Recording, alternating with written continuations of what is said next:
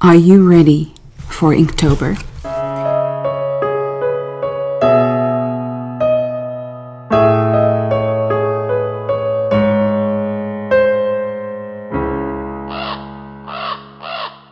I'm gonna show you in this video how to create these two sketchbooks from scratch with the paper you want. There's no binding and no stitching involved and they are perfect for the Inktober challenge. So let's go! For this project you will need paper, scissors, a knife, pencil, eraser, a ruler, fabric and glue. I'm starting by separating the paper from the pad. For this project I'm using 8 sheets of A4 paper. Then I'm separating the front cover from the back. I am measuring out how big I want my sketchbooks to be. In this case, one sketchbook will be 5 by 5 inches and the other one will be 5 by 3 inches. Then I cut them out and save them for later. Next up is measuring up the paper the same size as the front and back covers, which is 5 by 5 inch and 3 by 5 inch. This means per sheet of paper you have two pages to your book. Leave at the end a half inch flap so you can stick the pages together.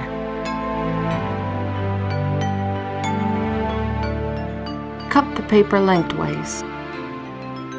Now you can score the cut pages on the 5 and 10 inch marks. If you don't have a scoring board, then go ahead and fold the pages on the marks. You can see I'm using a bone folder, but this is not necessary. You can also use a ruler.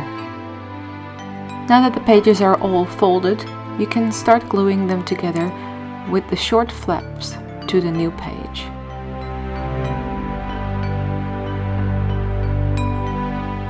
When you're done, it should look like this. You can cut off the end flap as we don't need that for the rest of the book. Now follow the same steps for the smaller book.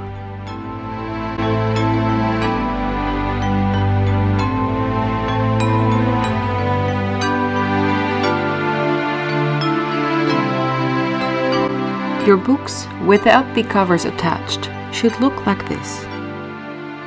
We're now going to decorate the cover with fabric. Position where you want the fabric to be with the pattern you want on the book.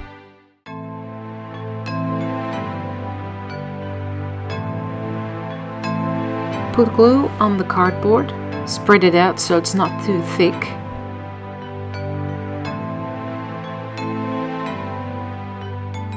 And place the fabric on the cardboard. Cut the fabric to size. Cut the corners diagonally.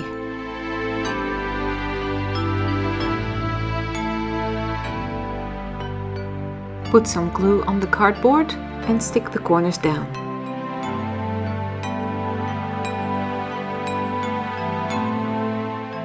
When the corners are stuck down, you can glue down the sides of the fabric to the cardboard.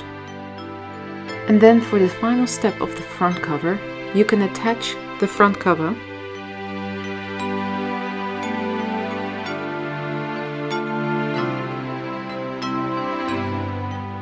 Repeat the same step for the back cover and the smaller sketchbook. You can also use paper to decorate your sketchbooks. And that is all there is to it. I hope you liked this DIY project.